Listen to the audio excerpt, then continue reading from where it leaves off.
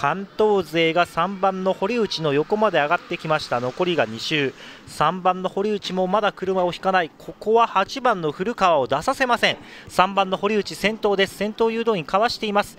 5番の山田そして9番の土屋と続いて4番手が並走になりました。内を救っていく4番の森山。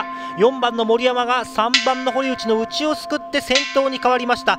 堀内はここで3番手に車を下げますがこの後ろが少しごちゃつくような感じ。